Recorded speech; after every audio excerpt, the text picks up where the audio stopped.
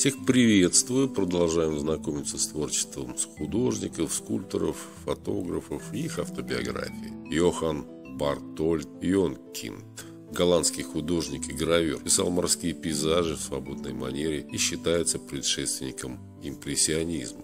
Йонкинг родился в городе Лат-Роп 3 июня 1819 года в Нидерландах, недалеко от границы с Германией.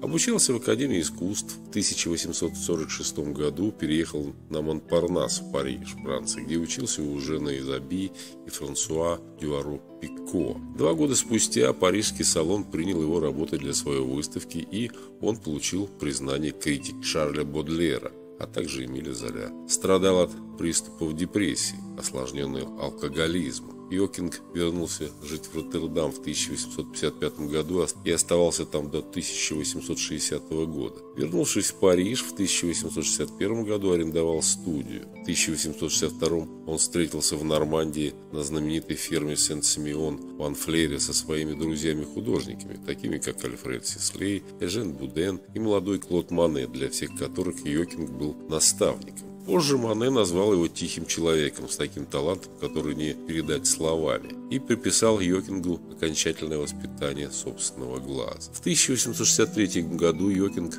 выставлялся на первом салоне отказников. Его пригласили принять участие в первой выставке группы импрессионистов в 1874 году ныне известной как первая выставка импрессионистов, но он отказался. В 1878 году Йокинг и его спутница Жозефина Фессер переехали жить в небольшой городок Лакот-Сен-Андре, недалеко от Гренобля, на юго-востоке Франции. Умер в 1891 году в Сент-Эгреве, в том же департаменте. Он похоронен на кладбище Кот-Сен-Андре. А более частой тематикой творчества художника был морской пейзаж, который он писал как в Нидерландах, так и во Франции. На многих его работах изображена сена, особенно район возле собора Нотр-Дам-де-Пари. Рисовал акварелью на открытом воздухе и использовал их в качестве эскизов для картин маслом сделанных уже в студии. Для его картин характерны энергичная манера письма и сильные контрасты. Подобно голландским пейзажистам 17 века, золотого века голландской живописи, он обычно писал свои пейзажи с низким горизонтом, позволяя небу доминировать. Вот так вкратце из переводной Википедии о голландском художнике и гравере